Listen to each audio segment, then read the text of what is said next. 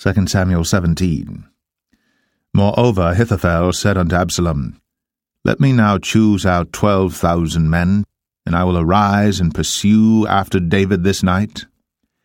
And I will come upon him while he is weary and weak handed, and will make him afraid, and all the people that are with him shall flee, and I will smite the king only. And I will bring back all the people unto thee. The man whom thou seekest is as if all returned, so all the people shall be in peace. And the saying pleased Absalom well, and all the elders of Israel. Then said Absalom, Call now Hushai the Archite also, and let us hear likewise what he saith. And when Hushai was come to Absalom, Absalom spake unto him, saying, Ahithophel hath spoken after this manner. Shall we do after his saying?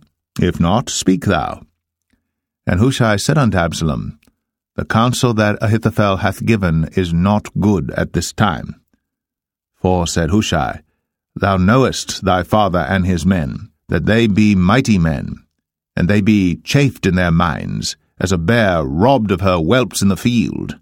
And thy father is a man of war, and will not lodge with the people.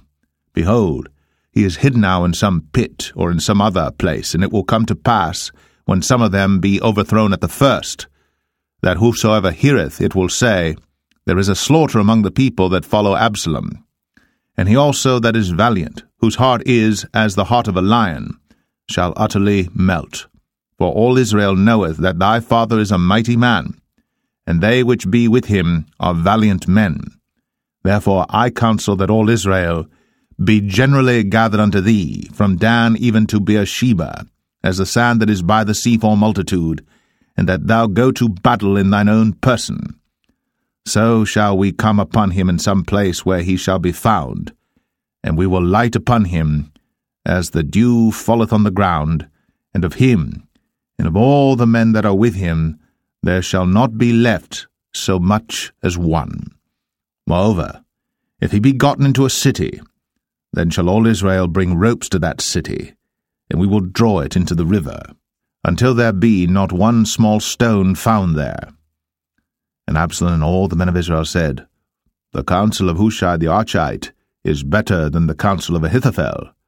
For the Lord had appointed to defeat the good counsel of Ahithophel to the intent that the Lord might bring evil upon Absalom. Then said Hushai unto Zadok and to Abiathar the priests, Thus and thus did Ahithophel counsel Absalom and the elders of Israel, and thus and thus have I counselled. Now therefore send quickly and tell David, saying, Lodge not this night in the plains of the wilderness, but speedily pass over, lest the king be swallowed up, and all the people that are with him. Now Jonathan and Ahimaaz stayed by Enrogel, for they might not be seen to come into the city. And a wench went and told them, and they went and told King David. Nevertheless a lad saw them and told Absalom, but they went both of them away quickly, and came to a man's house in Bahurim, which had a well in his court, whither they went down.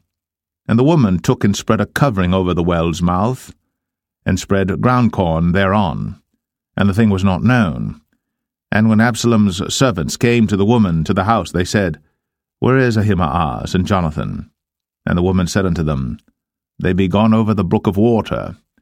And when they had sought and could not find them, they returned uh, to Jerusalem. And it came to pass after they were departed that they came up out of the well, and went and told to King David, and said unto David, Arise, and pass quickly over the water, for thus hath Ahithophel counselled against you. Then David arose, and all the people that were with him, and they passed over Jordan. By the morning light there lacked not one of them that was not gone over Jordan. And when Ahithophel saw that his counsel was not followed, he saddled his ass and arose, and gat him home to his house, to his city, and put his household in order, and hanged himself, and died, and was buried in the sepulchre of his father. Then David came to Mahanaim, and Absalom passed over Jordan, he and all the men of Israel with him. And Absalom made Amasa captain of the hosts instead of Joab, which Amasa was a man's son, whose name was Ithra, an Israelite, that went in to Abigail, the daughter of Nahash, sister to Zeruiah, Joab's mother. So Israel and Absalom pitched in the land of Gilead. And it came to pass, when David was come to Mahanaim, that Shobi the son of Nahash of Rabbah, of the children of Ammon, and Machir, the son of Ammiel of Lo-debar, and Barzillai the Gileadite of Rogelim, brought beds and basins and earthen vessels and wheat and barley and flour and parched corn and beans and lentils and parched pulse and honey and butter and sheep and cheese of kine for David and for the people that were with him to eat. For they said, The people is hungry and weary and thirsty in the wilderness.